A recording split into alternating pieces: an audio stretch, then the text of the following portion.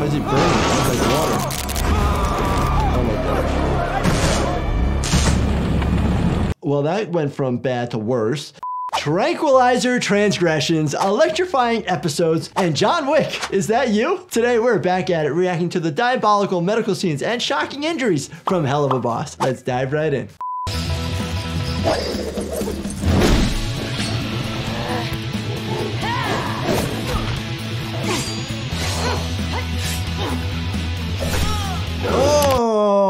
Go. I was waiting for it. Anterior laceration to the neck. Major structures right on the side. Your carotid arteries and your internal jugular veins. And then obviously you have your airway in the front. Airway is protected by the cartilage. There is some blood vessels in the front, but the biggest bleeders will be on the sides. Do I ever see somebody who's been decapitated? No, because they don't come to the hospital. We do see people that have what's called an internal decapitation when they get a severe cervical spine injury, usually due to high velocity injuries. Oh, just sliced in a body in half, just like Mortal Kombat.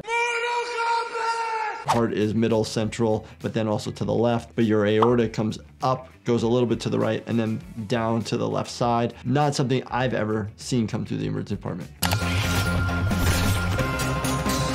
So all four limbs are amputated. That's going to be very hard to salvage, save. You're literally going to have to put somebody in four different tourniquets. If you have tourniquets, grab the limbs, take them with you to the hospital. But your first goal basically is to prevent the person from dying from bleeding out. Could you have a four limb prosthetics? Yes. Boss, cover me! Yes, sir!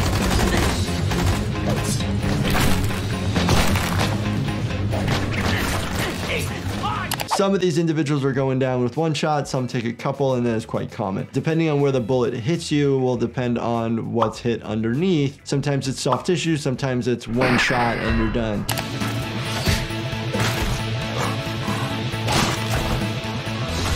We see a lot of animal bites that come to the emergency department. House pets to strays to random animals. We see people come in, might have thought they got bit by a bat because they're concerned about rabies. Bats typically don't cause pain when they bite, so if there's any inclination that there could have been a bat bite, we will treat for rabies.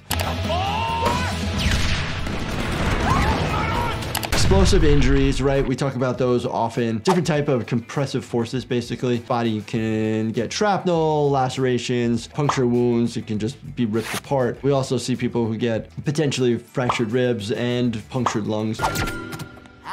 Oh, we got a blow dart. We got some oh, sort of dart to the neck. We don't use tranquilizers in the emergency department. We use sedatives. Do we have medications that work that fast? Uh, we have meds that work pretty darn fast. Typically will work in 10 to 15 seconds to get somebody to be sedated.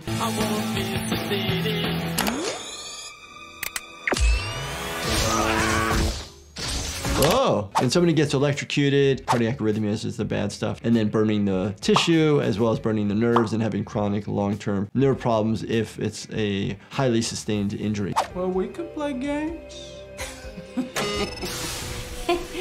Yeah. Truth bomb. It's pathetic.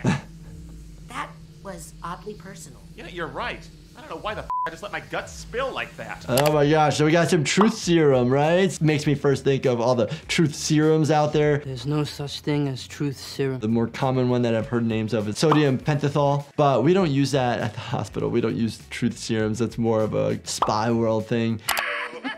This is gonna be a good night. We do have some medications that we use that are gas. Sometimes you go to a dentist and they'll give you nitrous oxide. When you go to the hospital, you have surgery, we'll give you medications to basically knock you out, but they actually use gas to keep you down. Eh. Oh! We deal with a lot of burns that come to the hospital. Treatment for burn pretty much is pain management. If it's open, charred tissue, you may need to have a skin graft. You typically will have a graft from your own body part. So like usually your thigh or your buttocks would be a donor site. Ah! Why is it burning?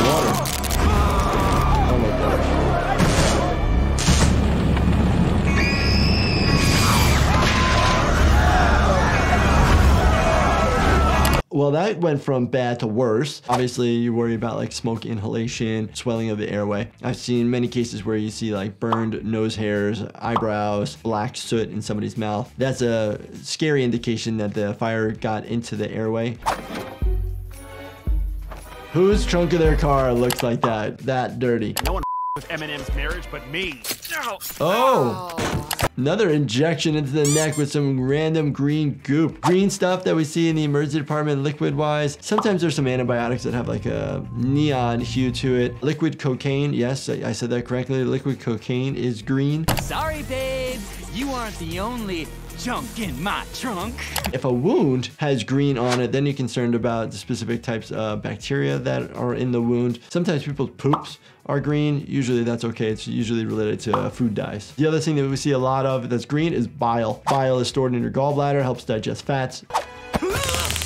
Whoa, a little taser. Now Take care of the others. We don't see those type of handheld taser injuries. Typically, they're just causing a local issue. What we end up seeing is a lot with the, the police tasers where they're shot out and there's barbs that are stuck into your skin.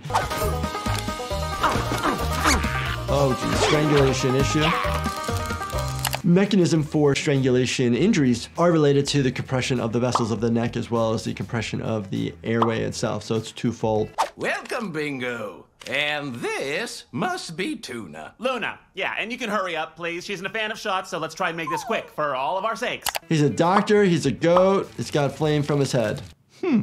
I see hellhounds every day, and there hasn't been one that has caused any issue. That is a massive syringe. We don't have syringes that big. If you need to give that much fluid to somebody, you're not going to give it as an IM injection. That's too much fluid. You'd give it in an IV and drip it over a period of time because you don't want any adverse reactions of giving something too fast to somebody.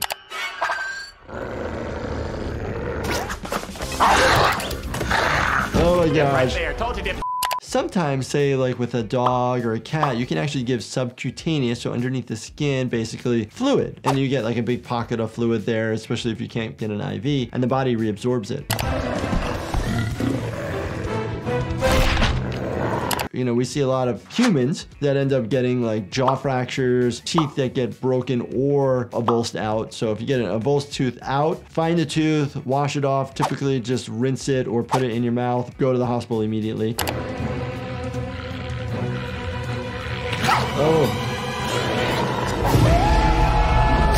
Intramuscular injection right into the gluteus maximus. Maybe just one glute? We actually do injections that way. If you have syphilis, the treatment is an IM injection of penicillin, which does hurt. So not bad, Helluva Boss, not bad. There were a lot of other things that we were able to talk about, which is good, and it was actually quite entertaining for me. I don't know if it was quite entertaining for you, I hope it was. Also, big new things on the horizon. Check out my brand new supplement company, Life Happens. If you guys definitely enjoyed this, definitely check out this playlist right here. And as always, make sure you subscribe, turn your bell notifications on, and hit that like button for me. Thank you so much for watching, and stay healthy, my friends.